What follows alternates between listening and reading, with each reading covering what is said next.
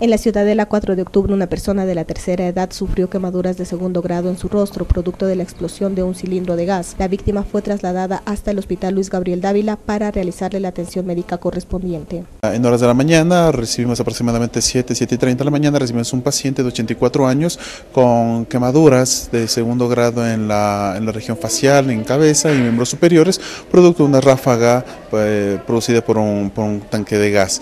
El paciente al momento se, encuentra en, tratamiento, en tratamiento en el servicio de emergencia eh, con, tratamiento de, con tratamiento de soporte ventilatorio por, para prevenir eh, complicaciones. Sin embargo, por aproximadamente un 30% de quemaduras, él necesita una valoración y tratamiento por una unidad de, de quemados, que lo, ya se ha coordinado la transferencia para que sea transferido a a una unidad de tercer nivel en la ciudad de Quito. Luego de la valoración realizada por el personal médico de esta casa de salud, decidieron trasladarle a un hospital de tercer nivel para que reciba tratamiento especializado en la unidad de quemados. Sin embargo, la, el, las repercusiones de, no recibir un tratamiento adecuado pueden ser graves, pueden ser, pueden ser serias. Es la razón por la que nosotros hemos, hemos, hemos preferido transferir a un hospital de tercer nivel. El hecho de que tenga una quemadura por una, por una ráfaga de fuego en, la, en, en el rostro, eso implica la, vía respiratoria superior, lo que es nariz, lo que es boca, eso hace de que en, en algún momento el paciente puede producir una obstrucción de la,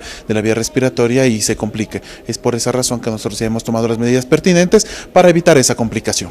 Con cámaras de Johnny Galvis, Mayra Coral, El Informativo.